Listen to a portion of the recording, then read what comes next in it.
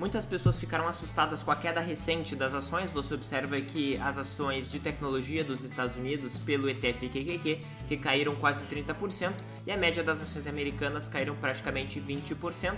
Então por isso muitas pessoas buscam ETFs de dividendos. Neste vídeo aqui eu vou mostrar para você seis ETFs que pagam dividendos mensais para você em dólar, não só de ações americanas, mas ações do mundo inteiro, certo? Se você se interessa por esse conteúdo, meu nome é Otávio Paranhos, eu sou analista de valores imobiliários e neste canal eu mostro para você como que você estrutura uma carteira de aposentadoria global investindo no Brasil, no exterior, especialmente em renda variável. Então já aproveita, me segue no Instagram, é otávio.paranhos, todos os dias eu respondo várias perguntas por lá e também aqui pelo YouTube. Basicamente as pessoas buscam é, essa questão de dividendos porque muitas vezes elas imaginam que elas estão isentas ou protegidas de questões como a inflação. Você observa aqui que, pelo menos nos Estados Unidos, nos últimos 15 anos aproximadamente, a inflação sempre ficava por volta dos 2,5% e agora ela deu um pico, chegou em 7, 8%, dependendo da categoria que nós estamos falando, pode chegar em 12%.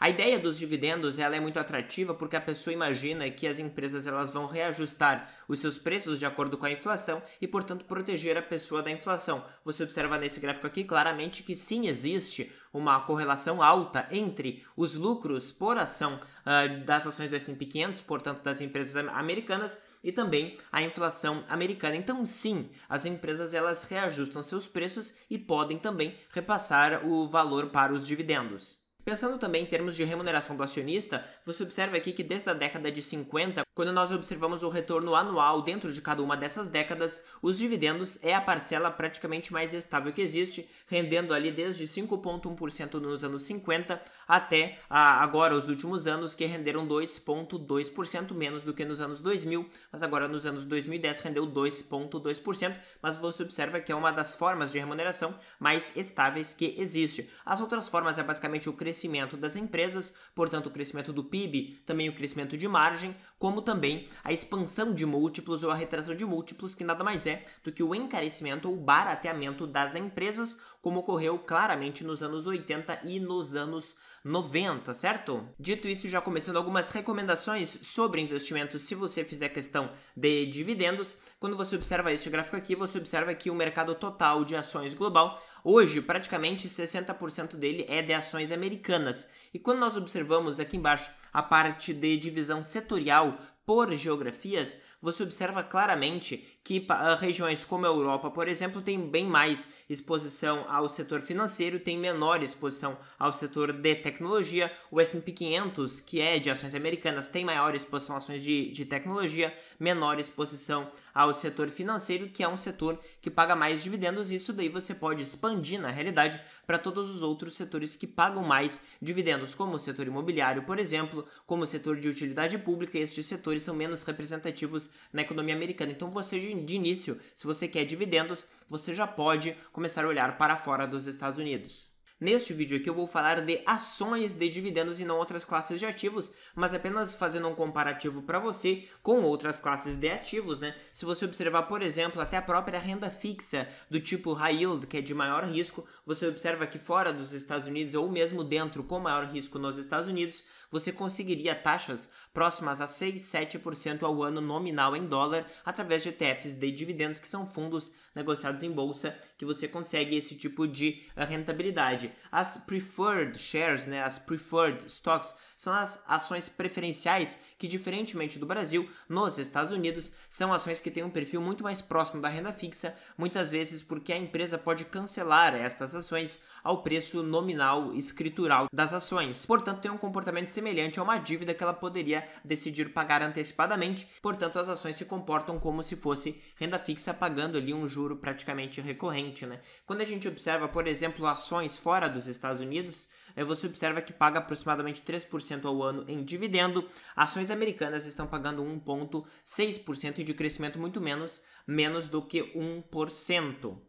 Antes de comentar sobre estes seis ETFs, eu vou mostrar para você porque que no meu ponto de vista não faz sentido algum você utilizar dividendos como critério, como critério de seleção. Isso daí já foi comprovado e demonstrado em 1961 pelos professores uh, Miller e Franco Modigliani, que você vê a foto deles, em que eles demonstraram que o fato de uma empresa pagar dividendos não altera o valor da empresa propriamente dito. Isso daí você já poderia imaginar se você eventualmente tem alguma empresa pequena, uma clínica, alguma coisa nesse sentido, e você sabe muito bem que você você transferir o caixa da empresa de um aplicativo para o outro caixa seu pessoal da sua conta bancária, não vai mudar a sua riqueza. É simplesmente uma transferência. Tira dinheiro de um bolso e coloca no outro bolso. E agora eu vou dar um exemplo concreto para você. Aqui você observa, por exemplo, o comparativo entre você receber dinheiro de dividendos e você receber dinheiro através da venda parcial dos seus ativos. Então imagine que você tem 50 ações a 100 dólares cada ação totalizando 5 mil dólares. Se você receber dividendos, por exemplo, aqui de 10 dólares para cada ação, você estará recebendo 10 dólares vezes 50, portanto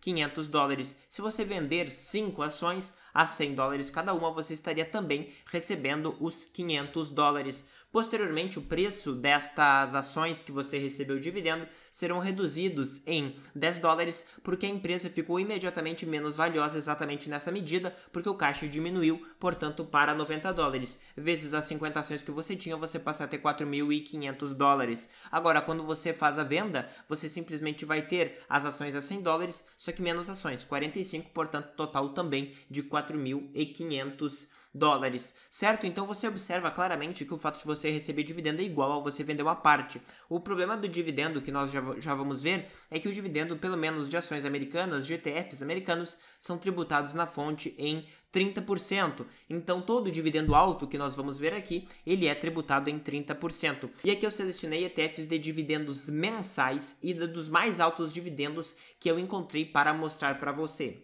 O primeiro fundo que eu quero mostrar para você é para reduzir a sua exposição aos Estados Unidos, que eu tenho quase certeza que você tem uma exposição muito grande. Ele é um ETF de mercados emergentes, é o da Advisors Asset Management, AAM, que ele investe para o índice da, é, da Standard Poor's, da S&P, que é o High Dividend Value ETF certo? O que, que ele faz, tá? Ele basicamente, ele vai selecionar dentro, aqui eu peguei as regras do índice, ele vai selecionar estes quatro critérios aqui, basicamente o, o dividend yield e também o free cash flow yield, que nada mais é do que o fluxo de caixa livre dividido pelo preço. Quando você para para pensar um demonstrativo de fluxo de caixa, o fluxo de caixa livre é o que existe depois de você pagar dívida, de você fazer investimento. Portanto, se uma empresa tem um alto fluxo de caixa livre em relação ao preço, significa que ela tende inclusive a ser menos endividada certo? E o segundo fundo que eu gostaria de mostrar é a mesma versão, só que a versão para países uh, desenvolvidos de maneira geral, que é o DMDV, certo? Quando nós estávamos falando do, uh, do de países emergentes, era o EEMD. Algo que é uma vantagem destes dois índices aqui que eu gostaria de mostrar é que ele seleciona cinco ações dentro de cada setor. Então, embora ele seja relativamente concentrado pelo número de empresas, 50 a 60 empresas aproximadamente, ele vai ser muito equilibrado em termos de setores, porque ele investe em cinco empresas apenas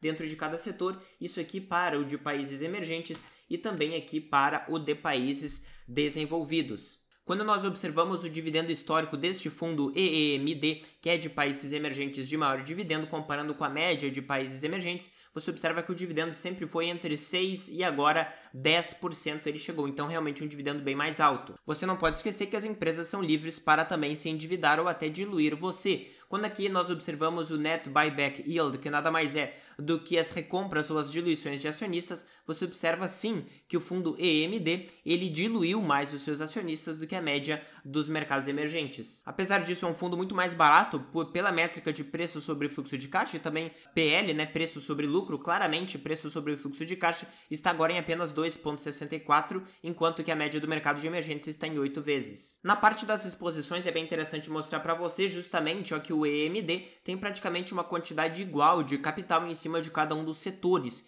Isso daí dá uma tranquilidade maior para você, porque eventualmente ele vai fazer um rebalanceamento, vendendo aquele setor que cresceu mais, já tendo uma exposição ao fator valor também dessa forma. Quando nós passamos para países desenvolvidos com o DMDV, Comparando com o EFA, que é de outros países desenvolvidos, você vê claramente que sim, o dividendo é bem maior, na casa de 6%, bem acima da média fora dos Estados Unidos, que é de 2,5%.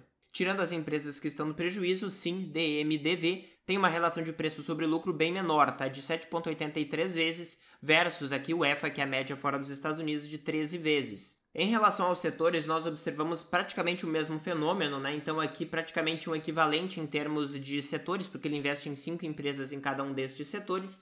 E até quando nós vamos ver aqui a concentração uh, de empresas nas 10 maiores posições, você vê que 22% do capital do fundo está nas 10 maiores posições do DMDV, enquanto que no EFA tem apenas 14% do capital nas 10 primeiras posições, então ele é menos concentrado, mas ele é, também é neutro, você sabe disso. O EFA, portanto, ele tem uma concentração que pode ser maior nas primeiras posições, o que não é o caso deste fundo aqui, mas no S&P 500, por exemplo, é o caso. Quando nós colocamos no gráfico este, estes fundos aqui de países emergentes, o EEMD e o EEM, você vê aqui que nos últimos 5 anos aproximadamente ele teve um desempenho equivalente, tendo uma performance pior aqui no período pós-pandemia, mas agora, né, com a queda das ações de, tec de tecnologia de emergentes, com o EEM, que, são, uh, que é o fundo neutro de emergentes, o desempenho agora foi equivalente. Aqui em relação ao retorno total, né? Quando nós observamos apenas a cota, apenas a cota do EMD, você observa que teve uma queda de 21%. Então, claramente, você tem que ter muita clareza que quando você investe em estratégias de dividendos, você até pode receber o dividendo, mas isso aqui não isenta você de ter uma queda permanente, praticamente, das suas cotas. Quando nós observamos o desempenho de países fora dos Estados Unidos, com o DMDV e também com o EFA, você observa que os dois performaram acima de zero, né? Com, considerando o retorno total com dividendos. Mas quando a gente pega só a cota do DMDV, você observa que ele teve também um prejuízo na casa de 8% no período analisado aqui, que foi de praticamente 4 anos, tá? Antes disso não havia o histórico, apenas para mostrar para você. Outro fundo famoso que eu claramente não recomendo, mas eu preciso mostrar porque muitas pessoas perguntam, é o SDIV. Este fundo aqui ele seleciona praticamente 100 empresas, 100 empresas dentro das maiores que passam por alguns critérios de liquidez, certo? E que não podem ser, por exemplo, fundos fechados, não podem ser uma partnership ou uma trust, e tem dividendos altos, né, que ficam entre 6% e 20%. Ele vai selecionar 100 empresas quando nós observamos o dividendo deste fundo aqui do SDIV em relação à média neutra global, que aqui eu utilizei o VT, você observa que sempre ele pagou entre 7 e aqui 12, 15% de dividendos ao ano. Isso é enorme, tá? Mas isso daí não impediu que ele tivesse uma diluição constante dos acionistas na casa de 7, 6% ao ano. Então, da mesma forma, ele dá para você o dinheiro do dividendo e, por outro lado, ele dilui você, reduzindo o tamanho da pizza que você tem dentro da empresa, da sua participação dentro da empresa. Obviamente, as relações de preço dele, obviamente, são bem menores. Então, por exemplo, o preço sobre lucro do SDIV é bem menor, hoje estando aqui realmente em 4,54, que é bem reduzido, é muito barato mais barato do que muitas ações brasileiras, comparando com a média neutra global, que apesar de tudo tem uma qualidade enorme, né? principalmente grandes empresas de tecnologia, empresas de saúde, que tem aqui um PL de 15, 16 vezes. Quando nós colocamos no gráfico para comparar com a média neutra global, que é o VT, comparando o retorno total do SDIV já com dividendos, você vê que o SDIV, neste período enorme aqui de 10 anos praticamente, rendeu apenas 12% nominalmente em dólares, enquanto que a cota dele caiu incríveis 49% e a média neutra global rendeu 162%. Então, sim, você observa que toda essa área aqui em que você recebeu de dividendo, o que não significa que isso aqui permitiu que você não tivesse uma dilapidação grande, né, de praticamente metade do seu patrimônio no período. Agora passando para os famosos REITs americanos, que são aquelas empresas de exploração imobiliária, agora eu gostaria de mostrar um ETF que se chama REIT, né, no caso é o contrário de REIT, que ele é da Roya, ele foi recentemente desenvolvido justamente para essa parte de altos dividendos, tá? Este fundo aqui, apesar de ser relativamente subjetivo alguns critérios que eles usam, o que é objetivo para mim faz sentido é, por exemplo, essa divisão que eles tiveram aqui do percentual total do fundo, número definido de REITs, certo? Chegando em 100 REITs, e eles dividiram aqui a quantidade de, de REITs, né, o capital total do fundo, por empresas pequenas e médias principalmente, uma pequena quantidade de large cap REITs, ou seja, empresas maiores de exploração imobiliária, e também colocaram um pouco de preferred stock, que nada mais é do que o equivalente à renda fixa americana imobiliária aqui neste ponto, tá? Então você observa que ele acaba tendo um bom balanço. Ele paga bastante dividendo, tá? Na ordem de 7%, 6, 7% ao ano que ele paga para você. Novamente, isso aqui é o valor bruto, tá? Você teria que descontar os 30% 10% se você for um residente não americano, e daí ele vai investir em 100 REITs que são listados nos Estados Unidos. Além deste, existe o KBWY, que ele é um fundo da Invesco que seleciona REITs de maneira discricionária pela equipe do KBW, certo? E ele vai selecionar REITs também que pagam mais altos dividendos. Aqui os critérios deles, né, basicamente, tem um comitê que vai decidir de maneira discricionária, então na prática ele é um fundo ativo. Por que, que eu estou mostrando esse fundo aqui? Porque ele é um dos poucos que paga de maneira mensal altos dividendos para o setor de REITs. Eu sei que vocês gostam de REITs, embora eu não veja, eu não veja sentido em concentrar, e também não acho que faz sentido nem concentrar em dividendo, e também o fato de ser pagamentos mensais também não deveria impactar a sua decisão, mas eu mostro para você porque talvez você se depare com isso, tá? E ele pagou, né, nos últimos 12 meses 5.47% em dividendos. Quando nós comparamos com a média de REITs americanos, que é o VNQ, você observa aqui que o dividendo destes dois fundos é bem mais alto, né, na casa de 5, 6% ao ano, perto do VNQ, que é de apenas 2,30%. Apesar disso, com as diluições, você observa claramente que um ETF como o KBWY, ele dilui os seus acionistas na ordem de 10% ao ano, o que é absurdo, é muito alto, tá? Comparando aqui com este fundo mais novo da Roya, que é o REIT, que uh, diluiu seus acionistas nos últimos 12 meses em 9%. Apesar disso, a relação de preço sobre o fluxo de caixa deles é bem menor, né? Então o KBWY tem uma relação de apenas 10 vezes, enquanto que o VNQ tem de 21 vezes, tá? Então no final ali o REIT fica com uma categoria intermediária em termos de precificação, mas o fato é que eles são bem mais baratos, sim, porque eles apresentam essas dificuldades. Você não pode esquecer que REITs são empresas como qualquer outra. Como, como qualquer projeto, você deve observar se ele tem uma qualidade mínima, tá? E aqui observando o ROA, que é o Return on Assets, o retorno sobre os ativos destes fundos aqui, você observa que os REITs que eram investidos pelo, pelo KBWY tiveram desempenho negativo aqui no período da pandemia, tá? Inclusive, aqui você observa que hoje eles estão muito abaixo do que o próprio VNQ hoje apresenta. E mesmo no período de pandemia, o VNQ apresentou uma rentabilidade sobre ativos ainda positiva de 1,80%. Como eles são muito alavancados, em geral isso aqui acaba compensando e conseguindo pagar para você o que, que você necessita, tá? É, mas, grosso modo, esse tipo de operação imobiliária trabalha com margens bem, apertadas, porque eles trabalham alavancados, então eles têm que pagar juros também e também eles podem distribuir para você além do lucro contábil. Então muitas vezes o lucro pode aparecer pequeno aqui no ROA, mas no final ele vai distribuir para você mais, mais do que o lucro contábil. Dito isso, comparando no gráfico aqui desde que esses fundos existem, o KBWY ele teve um desempenho de 83% em dólar nos últimos 12 anos aproximadamente, enquanto que o VNQ teve uma rentabilidade de 165, portanto o dobro, tá? A grande diferença veio aqui depois do período da pandemia, isso aqui considerando o retorno total. Sim, você teria excelentes dividendos anos, mas você vê que a cota, a cota do KBWY teria tido um retorno praticamente nulo no período de 12 anos, que foi um período excelente para o mercado americano propriamente dito, tá? Só para mostrar para você que não é porque você investe em dividendos que você vai ter a preservação do seu capital. E o último fundo que eu gostaria de mostrar para você, já puxando um pouco a sardinha para o meu lado, que defendo fatores, que defendo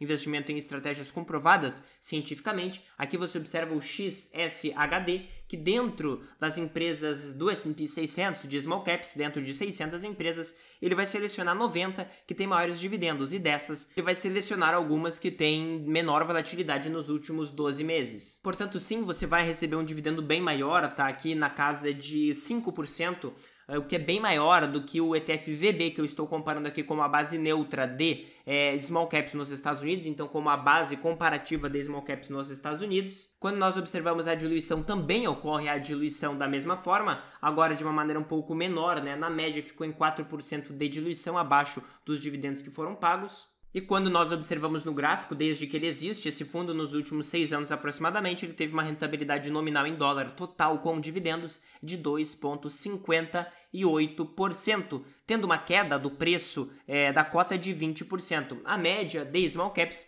ficou em 46% positiva. Se eu colocasse aqui um fundo de small caps de valor, por exemplo, como o IJS, tá? E uh, vendo aqui somente o retorno total em amarelo, você vê que o IJS teria ficado equivalente ao VB. Teve uma performance pior neste período de desempenho inferior do fator valor de fato. A tendência é que empresas do fator valor tendam a desempenhar bem melhor em períodos pós-crise, principalmente em períodos de maior inflação, porque na realidade, com um custo de capital maior, como nós estamos vivendo agora. O valor presente de todos os ativos tende a reduzir, mas como né, os ativos de valor eles têm os seus fluxos de caixa mais próximos do momento atual, finalmente eles terão um valor maior em relação àqueles de crescimento. E se a gente pegar até do período, né, enfim, do buraco da crise até agora, o IJS, por exemplo, desempenhou melhor, sendo um ETF de valor de small caps. Então estes são os seis ETFs que eu gostaria de mostrar para você. Se você se interessa por isso, eu tenho um convite para você. Agora, nos próximos dias, eu farei um evento muito completo sobre o passo a passo para você montar sua carteira de aposentadoria global, gratuito e online. Se você tem interesse em se aprofundar e de fato eliminar suas dúvidas e ter mais clareza sobre os seus investimentos globais, clica no link aqui da descrição